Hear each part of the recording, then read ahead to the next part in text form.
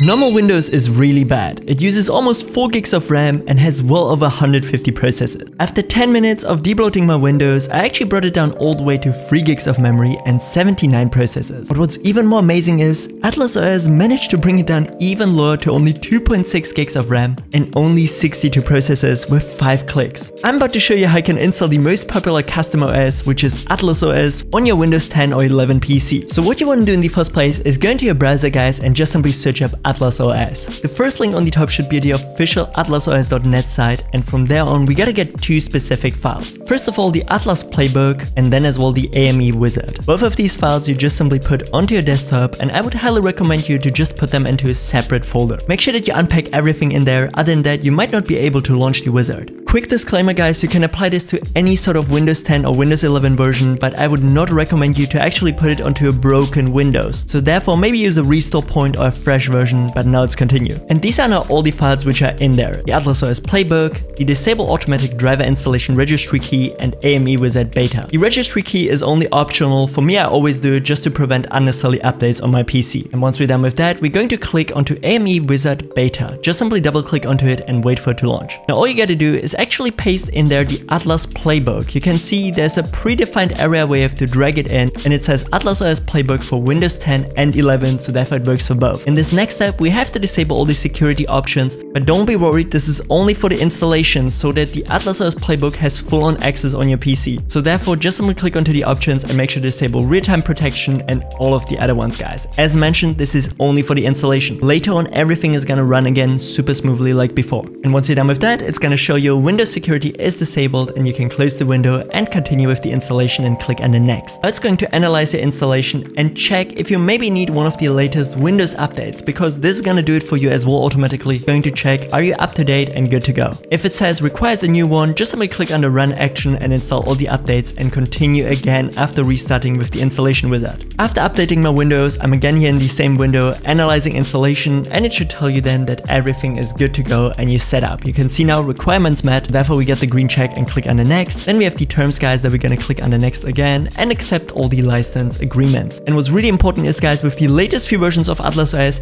you can enable the Windows Defender because many people were saying, why is the Windows Defender disabled? Which is basically like the core antivirus. And I would highly recommend you as well to keep this one enabled, guys. You definitely want to use this. So therefore use the recommended settings and click on the next. Now default Windows mitigations also just simply leave enabled, guys. This is also the recommended step. Especially on newer or modern CPUs, this can cause issues. So therefore turn it on. And as well disable core isolation, I would actually recommend you because this one actually is super hardware demanding. So therefore you want to disable this one. Click on the next again here and then it's going to ask you disable printing, Bluetooth and power saving, all of these here which I actually want disabled, I don't really care about it so therefore click on the next. Then as well disable hibernation, disable automatic updates and remove snipping tool which I actually unchecked because I use it and then something like disable notifications and all that and then you can actually configure your browser as well. For me I'm gonna keep my Google Chrome but you can also get another one. And then we get the green check again that all the configurations are completed and we can click actually on the next. Now it's going to start with extracting all the playbook files onto our PC and everything is gonna get basically updated and tweaked. And after a bunch of minutes your Atlas OS should be fully installed on your PC so therefore just let it run real quick. And after you're done with it it should look exactly like this here. You have this very nice Atlas screen as well the Atlas folder with all the core options which are in there if you maybe want to re-enable some services. And now let's actually check the task manager guys. And the processes already get down to only 62 and our Windows is only using 2.6 gigs of RAM previously it was almost 4 gigs so therefore that's a huge difference which is really insane especially for lower-end devices so therefore I can highly recommend you Atlas OS, especially if you're maybe on a 4 to 8 gigs of RAM laptop or something like that, or a really low end PC. This is a great way to overall speed up your system,